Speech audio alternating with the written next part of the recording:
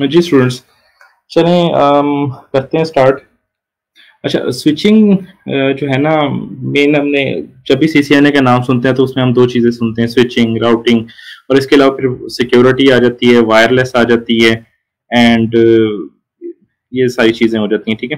तो स्विचिंग उनमें से एक कंपोनेंट जो स्विचिंग है उसको आप इंशाल्लाह हम आज देखेंगे और स्टार्ट करेंगे स्टडी करना। स्विचिंग uh, जो होती है ना हमारे पास वो लेयर टू पे ऑपरेट हो रही होती है from the bottom physical layer के बाद डाटा लिंक लेयर आती है, ठीक है? स्विचिंग हमारे पास डाटा लिंक लेयर पे परफॉर्म हो रही होती है, ठीक है? इसमें जो डिवाइसेस होती हैं, हमारे पास की डिवाइसेस वो होते हैं स्विचेस होते हैं, जिन पे हम कॉन्फ़िगरेशन करके जो है, अपने, जो हमारा नेटवर्क होता है, उसको हम मतलब बेहतर बना सकते हैं, उसको हम लो कॉस्ट बना सकते हैं, उसमें लो लेटेंसी कर सकते हैं, ठीक है? और लूप्स को अवॉइड कर सकते हैं। डिफरेंट जो लूप्स क्रिएट हो जाते हैं हमारे नेटवर्क के अंदर। तो उन लूप्स को अवॉइड करने में भी ये बहुत इंपॉर्टेंट रोल प्ले कर रही होती है स्विचिंग हम थोड़ा सा इसको अगर यहाँ पे देखें तो हमारे पास क्या क्या चीज़ें आ जाती हैं, फिर हम स्लाइड्स पे मूव कर सकते हैं। स्विचेस के हमारे पास फ़ंक्शंस क्या होते हैं डिफरेंट फंक्शनैलिटी इनकी क्या होती है सबसे पहले? स्विचेस की फंक्शनैलिटी जो होती है हमारे पास, एक तो होती है एड्रेस लर्निंग की, ठीक है? मैंने बताया था कि नेटवर्क पे जो हमारे पास डिवाइसेस होती हैं, उनकी पहचान होती है आईपी एड्रेसेस ठीक है? लेयर थ्री पे। लेयर टू पे हमारे पास किस चीज़ की पहचान होगी? हमारा एड्रेस क्या होगा, जिसको देख के डिवाइसेस एक दूसरे को रिकोगनाइज करेंगी, ठीक है? तो वो होता है हमारे पास मैक एड्रेस फ़िज़िकल एड्रेस होता है, जो डिवाइस पे हार्ड कोडेड हुआ होता है। उसको हम कहते हैं मैक एड्रेसेस ठीक है? हर डिवाइस का अपना यूनिक मैक एड्रेस होता है। इवन आप अपने मोबाइल फ़ोन पे भी देखें, उसकी सेटिंग्स में जाके अबाउट फ़ोन में देखेंगे तो वहाँ पे लिखा हुआ आ रहा होगा मैक एड्रेस वो हार्ड कोडेड एड्रेस होगा जो आपके डिवाइस के अगेंस्ट उसको असाइन हुआ हुआ है। तो इतनी, जितनी भी दुनिया में डिवाइसेस है, उन सब डिवाइसेस को एड्रेस असाइन हुआ हुआ है और उनको हम मैक एड्रेस बोलते हैं। ठीक है? तो स्विचेस की फंक्शनैलिटी में सबसे पहले क्या आ जाता है? एड्रेस लर्निंग ये एड्रेस को लर्न कर लेते हैं मैक एड्रेसेस को याद कर लेते हैं, ठीक है? जो भी नेटवर्क में मैक एड्रेसेस होंगे स्विचेस उनको याद करके अपने पास एक टेबल मेंटेन कर लेंगे, जिसको मैक एड्रेस टेबल कहते हैं। वो हम आगे चल के देखेंगे भी अभी लैब के अंदर के वो कहाँ पे होता है और किस तरह एग्जिस्ट कर रहा था और कौन सी कमांड के थ्रू उसको हम एक्सेस कर सकते हैं। ठीक है? अच्छा सेकंड चीज़ हमारे पास होती है फॉरवर्ड एंड फ़िल्टर डिसीजंस ठीक है? मतलब किस नेटवर्क लेयर में तो ये होता है ना थर्ड लेयर की अगर मैं बात करूँ, उधर हमारे पास पैकेट्स होते हैं नेटवर्क में, ठीक है? सेकंड लेयर में अगर मैं बात करूँ, उसी चीज़ को हम डाटा को जो फ्लो कर रहा होता है, उसको हम फ्रेम्स कहते हैं, ठीक है? तो यहाँ पे जो फ्रेम्स मूव ऑन कर रहे होते हैं डाटा जिसमें हमारे पास मौजूद होता है, हमारा डाटा जो कैरी कर रहे होते हैं, उनको फॉरवर्ड करना और उनको डिस अलाउ करना या फ़िल्टर फ़िल्टर करना, उसमें से कुछ पार्ट को ना भेजना, या कुछ पार्ट को भेजना, ठीक है? ये सारा डिसीज़न जो होती है स्विचेस की ये फंक्शनैलिटी होती है। ठीक है? कि वो फॉरवर्ड भी कर सकते हैं उस डाटा को, उस राइट जगह पे फॉरवर्ड करना, उसके प्रॉपर डेस्टिनेशन पे फॉरवर्ड करना। ठीक है? ये चीज़। अच्छा थर्ड हमारे पास आ जाती है चीज़, वो है लूप अवॉइडेंस जो कि काफ़ी इंपॉर्टेंट है। लूप बेसिकली होता है एक ऐसा मतलब फ्लो होता है जिसमें आप राउंड एंड राउंड जो है ना वो घूमते रहते हैं। It is like a circle उस सर्कल में आप घूमते रहते हैं, ठीक है? आपका जो नेटवर्क होता है, अगर उसमें लूप आ जाए ना तो फिर आपको डाटा डेस्टिनेशन पे तकरीबन नहीं मिलेगा डाटा ठीक है? और क्या होगा, आपका नेटवर्क का ओवरहेड भी इंक्रीज हो जाएगा, जिससे आपको डिले आएगा। तो स्विचेस जो होते हैं, वो इन लूप्स को अवॉइड करने में भी सबसे इंपॉर्टेंट रोल प्ले करते हैं। ठीक है, ये चीज़ें होपफुली आप सबको क्लियर होगी कि स्विचेस की फंक्शनैलिटी क्या होती हैं। ओपन कर लेते और यहाँ पे एक क्लिप्स बना लेता हूँ, ये देखें। ठीक है, ये आपका लेट सपोज़ एक कह ले कि नेटवर्क है, ठीक है। इसमें अब लूप क्रिएट हो गया है, ठीक है, इस तरह का। कि आप जो डाटा भेज रहे हैं, वो वापस यहाँ से स्टार्ट से आपके पास वापस जो है ना, इस पॉइंट पे आ जाता है।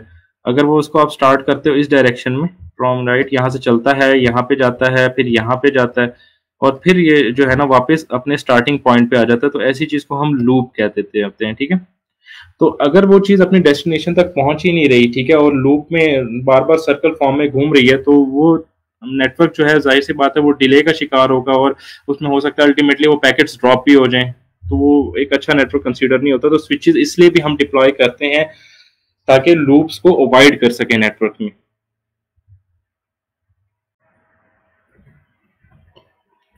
ठीक है? अब स्विचेस की तीन फंक्शनैलिटी होती हैं। मैं सबसे पहले बताया, ये लेयर टू पे ऑपरेट हो रही होती है स्विचिंग ठीक है? यहाँ पे जो डाटा फ्लो कर रहा होता है, उसको हम फ्रेम्स का नाम देते हैं कि फ्रेम्स होते हैं वो डिफरेंट हमारे पास, ठीक है?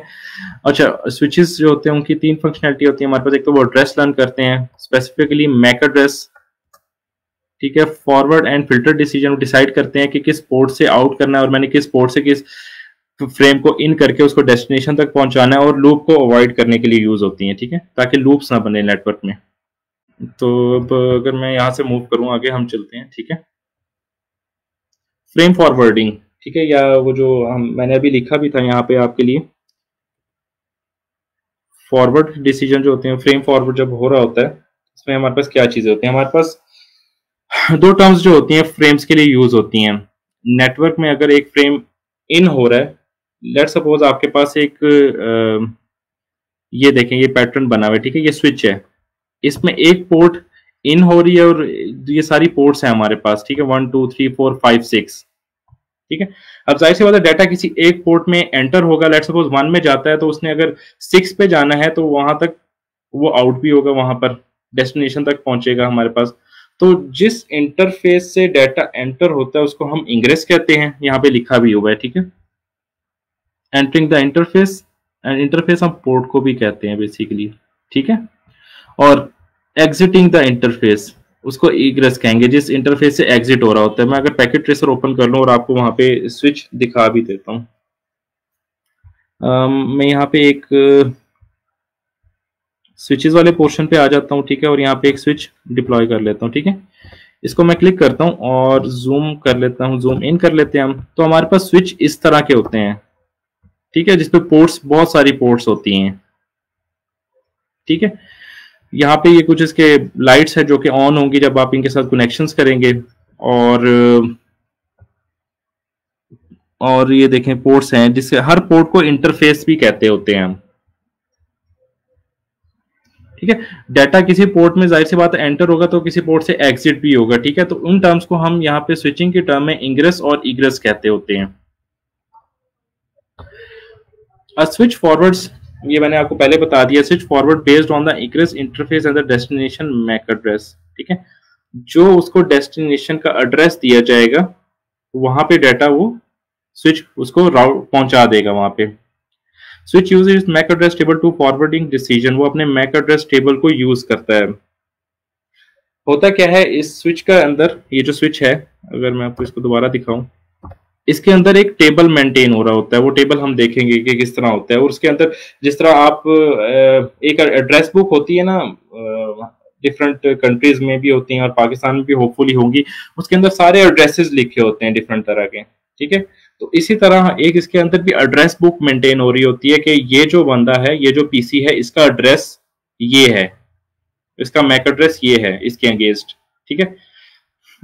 इस इस ये जो, मेरा ये जो करीब का जो एक पीसी है, उसका मैक एड्रेस ये है, ठीक है? तो एक पूरा टेबल और ये वो एक वो मैक एड्रेस टेबल मेंटेन हो रहा होता है इसके अंदर। सेकंड करते हैं switch will use the destination MAC address ये भी पता चल गया, ये चीज़ इसमें इंपॉर्टेंट है। A switch builds a MAC address table also known as content addressable memory CAM table भी इसको हम बोलते हैं, ठीक है? तो इस तरह से ये होता है।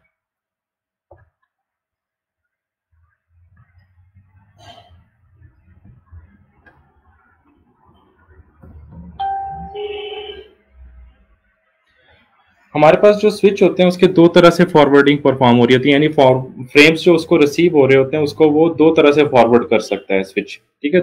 एक है store and forward switching and secondly है cut through switching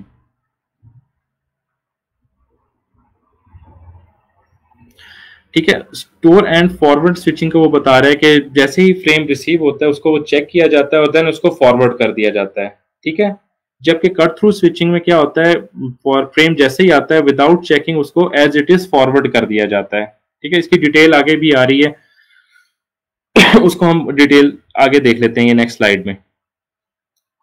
Store and forward has two primary characteristic ठीक है? दो करेक्टरिस्टिक इसकी कौन सी है, दो खास बातें क्या हैं इस तरह की स्विचिंग की? कि इसमें एक तो एरर चेकिंग की जा सकती है। एरर को चेक किया जा सकता है। अगर कोई फ्रेम है, उसके अंदर कोई एरर है तो उस एरर को रिमूव किया जा सकता है, ठीक है? और बफरिंग स्पीड को एडजस्ट किया जा सकता है। जो हमारी इनगोइंग इंटरफेस या पोर्ट होता है और आउटगोइंग इंटरफेस या पोर्ट होता है, उसकी स्पीड्स को एडजस्ट किया जा सकता है बफरिंग के थ्रू हो सकता है कि एक की स्पीड पोर्ट की स्पीड इस कदर ज़्यादा हो कि डाटा स्किप या मिस हो जाए, और एक हो सकता है कि दूसरे एंड पे स्पीड इस कदर स्लो हो कि डाटा वहाँ पे रिसीव ही नहीं हो रहा, ठीक है? तो ये दोनों चीज़ें दो फीचर्स प्रोवाइड करती है स्टोर एंड फॉरवर्ड स्विचिंग हमें। Clear student store and forward switching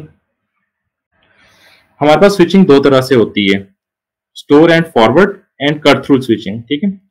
store and forward में क्या होता है कि जैसे ही कोई फ्रेम आता है, उसको स्टोर किया जाता है। स्टोर करने के बाद उस पर दो चीज़ें परफॉर्म होती हैं, ठीक है? एक तो एरर चेक किया जाता है उसमें किसी किस्म का कोई फ्रेम कोई अंदर जो है फ्रेम डैमेज तो नहीं है, कोई बिट्स वगैरह। अगर कोई बिट्स वगैरह डैमेज है तो उसको करेक्ट किया जाता है या उनको डिस्कार्ड कर दिया जाता है। डिपेंड करता है कि क्या कंडीशन होती है वहाँ पे, ठीक है?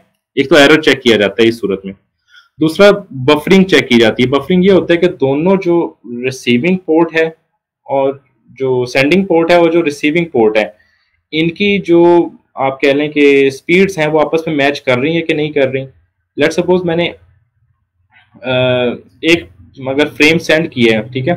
और स्पीड स्लो है तो वो फ्रेम कभी दूसरे डेस्टिनेशन पे पहुंचेगा ही नहीं, यानी उसको बहुत ज़्यादा टाइम लग जाएगा, और ऐसा तो नहीं है कि वो पोर्ट हमेशा के लिए उसके लिए वेट करती रहे। ठीक है? तो ऐसे भी हमारा डाटा लॉस हो सकता है, हमारा फ्रेम जो है वो डिस्कार्ड हो सकता है, ठीक है? तो बफरिंग मेक श्योर करती है कि दोनों की जो स्पीड्स हैं पोर्ट्स की, वो जो है करेक्ट है, एक दूसरे के साथ है। बिल्कुल हाफ़ ड्यूप्लेक्स है तो दोनों हाफ़ ड्यूप्लेक्स हैं फुल ड्यूप्लेक्स हैं तो दोनों फुल ड्यूप्लेक्स हैं। Cut through switching cut through में क्या होता है कि जैसे ही किसी एक इंटरफेस या पोर्ट पे फ्रेम रिसीव होता है डाटा रिसीव होता है, वो उसको फ़ौरन ही आगे डेस्टिनेशन पे भेज देता है विदाउट चेकिंग ठीक है? इस तरह की स्विचिंग नो डाउट फास्ट तो होती है एज कंपेयर टू फॉरवर्ड जो हम पीछे पढ़कर आ रहे हैं उस स्विचिंग की टाइप को। लेकिन अल्टीमेटली इसमें ये होता है कि अगर कोई बिट्स या कोई पार्ट डैमेज है फ्रेम का तो वो डाटा आपका लॉस हो जाएगा, ठीक है? और वो रीसेंड करना पड़ेगा आपको दोबारा से। कॉन्सेप्ट इसके क्या है? Is appropriate for switches needing latency जिनको स्पीड बहुत ज़्यादा अच्छी चाहिए होती है, उनके लिए ये अच्छा है कंसिडर किया जा सकता है। Does not check F C S frame check sequence इसमें नहीं है कि जिस फ्रेम से जैसे one two three four five ये एक मतलब सीक्वेंस है ना, इसी सीक्वेंस से मुझे दूसरी मेरी डेस्टिनेशन पे भी one two three four five receive हो ना कि वन थ्री फोर फाइव इस तरह से करके तरतीब चेंज होगी, ऐसे नहीं होना चाहिए।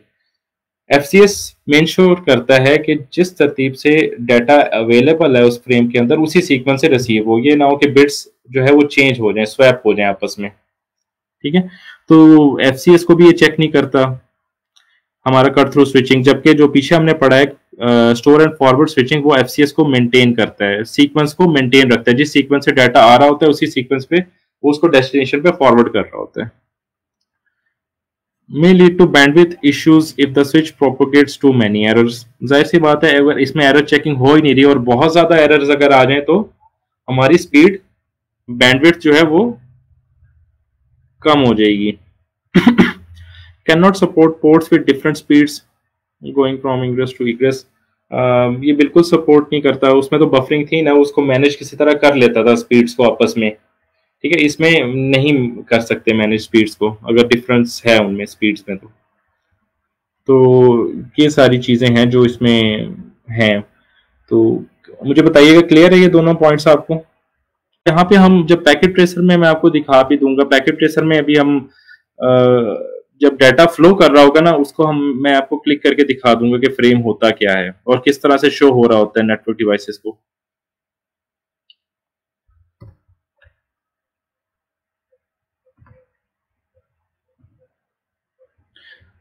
अच्छा उसके बाद हमारे पास जो स्विचेस होते हैं ना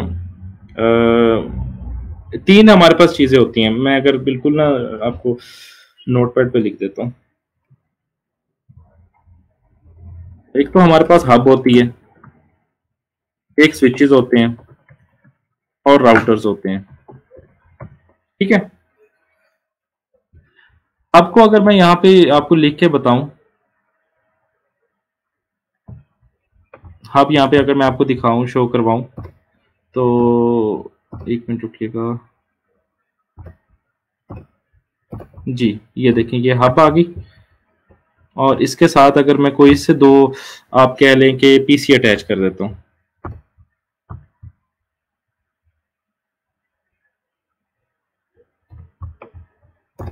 ठीक है ये पीसी मैं वहाँ से पिक कर लिया मैंने और यहाँ पे इसके साथ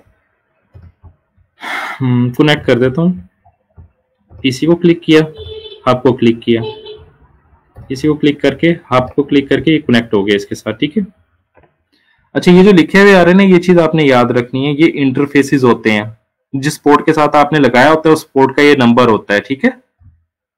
अब वो एफ़ ए ज़ीरो वो ज़ीरो पोर्ट थी F A fast ethernet zero port थी, और ये फास्ट इथरनेट वन पोर्ट थी। अगर मैं इसको दिखाऊँ आपको तो ये देखें इसका स्ट्रक्चर ये पोर्ट्स लगी हुई हैं। ये देखें, ये फास्ट इथरनेट ज़ीरो ये लिखा हुआ है। और ये नीचे इसके, या साइड वाली फास्ट इथरनेट वन होगी। और ये पावर का बटन है। पावर का बटन ऑफ़ कर देंगे तो यहाँ से ये ऑफ़ भी हो जाएगी। अगर अच्छा हम्म, तीन तरह की डिवाइसेस होती हैं। मैंने बताया hub switch and router hub जो है ना वो याद रखिएगा कि बिल्कुल डम डिवाइस होती है। उसमें किसी किस्म की कोई इंटेलिजेंस नहीं होती। ठीक है वो अपनी मतलब उसका जिस जिस चीज़ को उसके साथ कनेक्ट कर दिया होती है स्विचेस की तरह ही है लेकिन डम डिवाइस होती है स्विचेस इंटेलिजेंट होते हैं, ठीक है? इंटेलिजेंट किस तरह होते हैं कि उनका आप कॉन्फ़िगरेशन कर सकते हैं और उस पर डिफरेंट एल्गोरिदम्स और ऐसे प्रोटोकॉल्स ऑटोमेटिकली रन हो रहे होते हैं जो आपकी चीज़ों को मेंटेन कर रहे होते हैं आपके लिए, ठीक है? तो स्विच एक डम डिवाइस होती है बेसिकली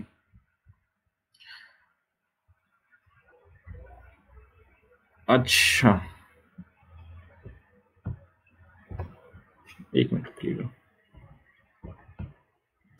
अच्छा हब जो होती हैं, ये वन कोलेजन डोमेन बनाती है, याद रखिएगा। कोलेजन डोमेन को मैं अभी एक्सप्लेन करता हूँ। एंड एक ब्रॉडकास्ट डोमेन बनाती है।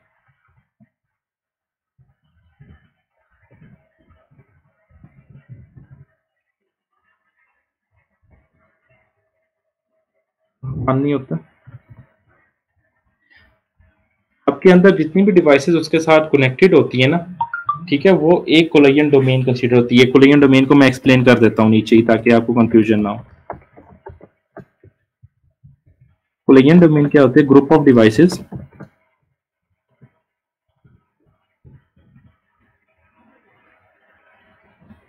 that can hear each other ठीक है?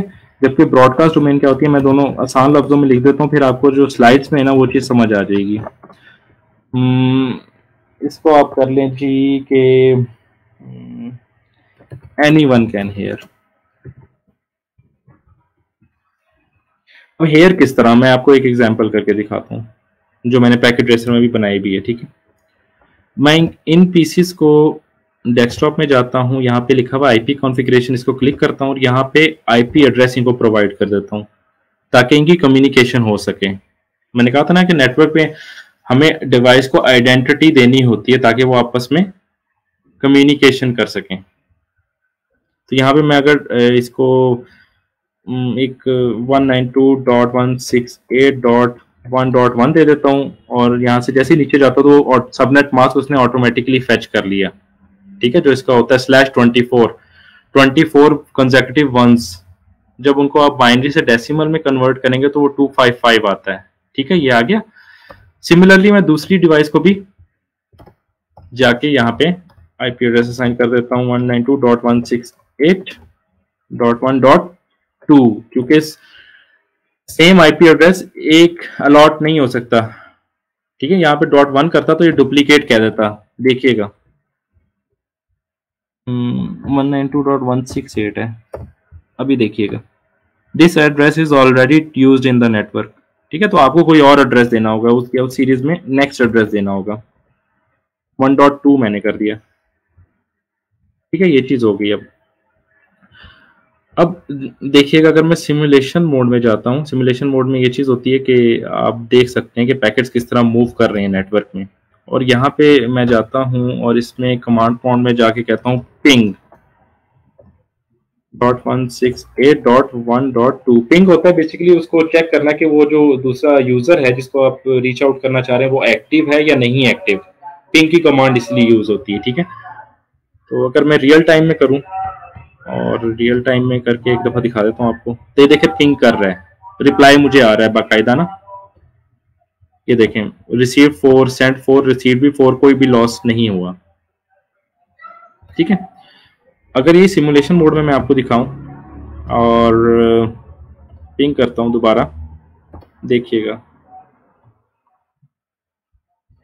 पैकेट मेरा रेडी हो गया है, मैं यहाँ से नेक्स्ट स्टेप करता हूँ तो देखिएगा अब ये पोर्ट क्या करेगी।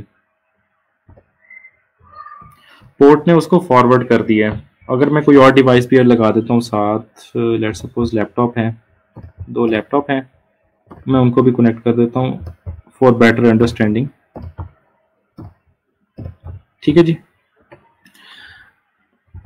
और दोबारा पिंग करता हूँ।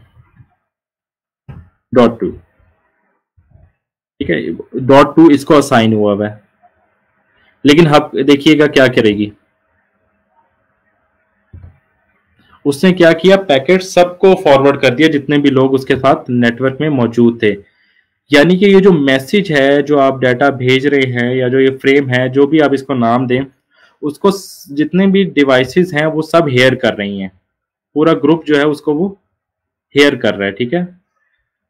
तो ये एक कोलाइन डोमेन बन गई हमारे पास। जितनी भी डिवाइसेस ऐसी डिवाइसेस का ग्रुप जो कि उस नेटवर्क पे हेयर कर रही होती हैं, या कम्युनिकेशन को मतलब देख सकती है, उनके पास डाटा रिसीव हो रहा है उसका। हालाँकि भेजा तो हमने सिर्फ़ इसको था, और जाना सिर्फ़ इसको चाहिए था, लेकिन इनको भी रिसीव हो गया।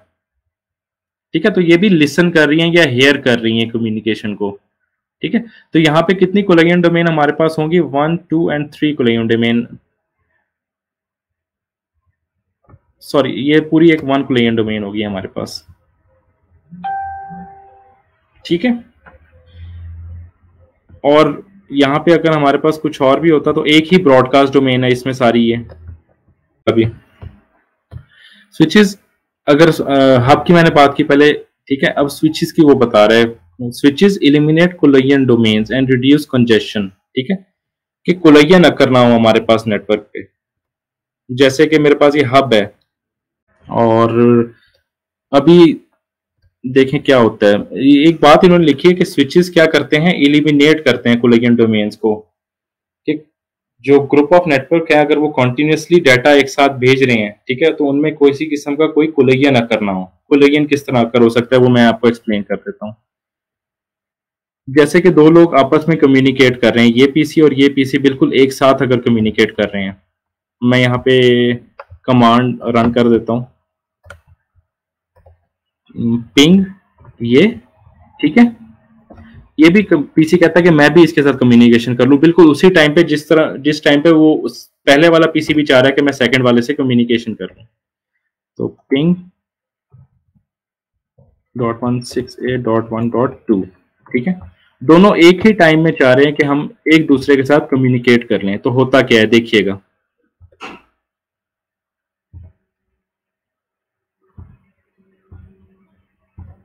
हम्म, एक मिनट रुकिएगा ये।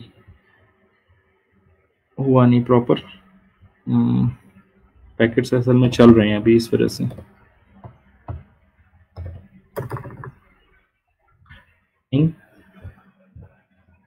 जी, अब क्लियर है।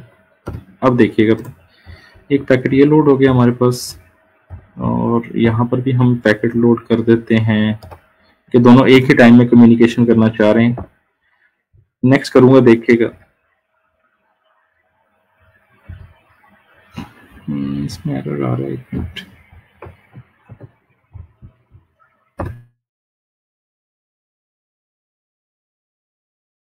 पैकेट ट्रेसर कभी कभार इशू करता है जब उसमें ना हम बार बार करते हैं तो। जी एक मिनट रुकिएगा, मैं दोबारा से वो ले लेता हूँ। दो पीसेस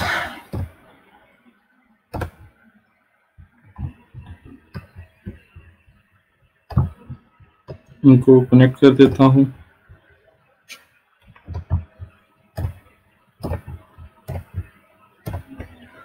ठीक है?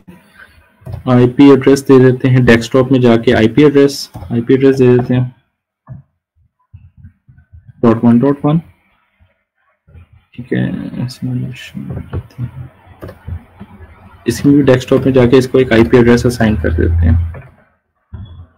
डॉट टू ठीक है सेपरेट आईपी एड्रेसेस हमने दे दिए जैसे पहले दिए थे। तो अब हम, मैं यहाँ पे जाके कमांड फॉर्म में कहता हूँ ping nine two dot one six eight dot one dot two ठीक है?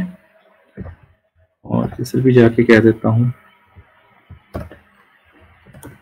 One one two dot one six eight dot one dot two one dot one sorry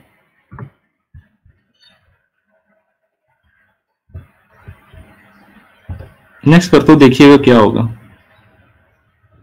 कोलैयन ना करोगे जैसे दोनों ने एक टाइम पे कम्युनिकेशन करनी चाहिए, क्योंकि इसमें एक ही कोलैयन डोमेन थी हमारे पास तो क्या हुआ?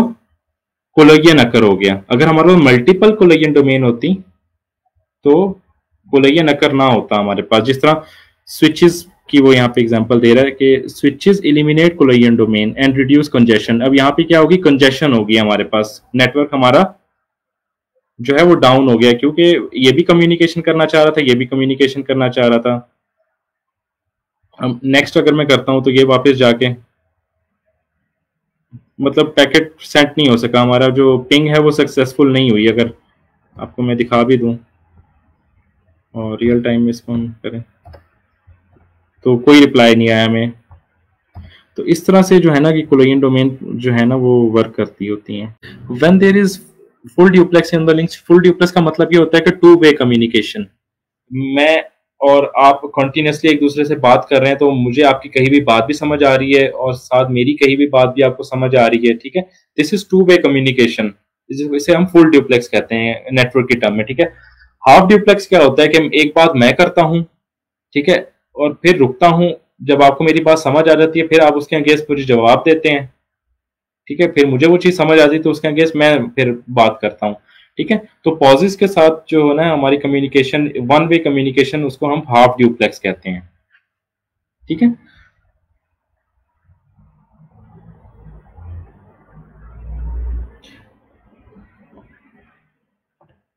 स्विचेस के अंदर इस तरह की कोलोयंस अकर नहीं होती, क्योंकि इनकी जो हर इंटरफेस या हर पोर्ट होता है ना, वो एक कोलोयन डोमेन होता है। ठीक है? ये चीज़ आपने याद रख लेनी है। ब्रॉडकास्ट डोमेन ये देखें। अब ये स्विच जो यहाँ पे एग्ज़ाम्पल में दिया हुआ है, ये सबके साथ कम्युनिकेट कर रहा है, ठीक है? अगर ये, इसमें कोई भी डाटा आता है और ये सेंड करेगा डाटा तो ये डाटा सर्वर को भी जाएगा, इस पीसी को भी जाएगा, इस पीसी को भी जाएगा, इस पीसी को भी जाएगा, इस पीसी को भी जाएगा, जब भी वो फ़र्स्ट टाइम सेंड करेगा। ये चीज़ में आपने याद रखनी है कि जब भी फ़र्स्ट टाइम स्विच कोई भी डाटा सेंड करता है तो वो जितना भी नेटवर्क या जितनी भी डिवाइसेस उसके साथ कनेक्टेड होती हैं तो वो उन सबके पास लाजमी जाता है, ठीक है? दिस इज़ ब्रॉडकास्ट डोमेन ठीक है? ब्रॉडकास्ट कर रहा है वो डाटा को, सबको शो कर रहा है। जितनी भी डिवाइसेस उस ग्रुप में हैं, जैसे कि मैंने यहाँ पे डेफिनेशन लिखी है एनी वन कैन हेयर ठीक है? जितनी भी डिवाइसेस उस ग्रुप में होंगी, वो सारी उसको लिसन कर रही होंगी, ठीक है? उन सारों के पास डाटा जा रहा होगा। क्लियर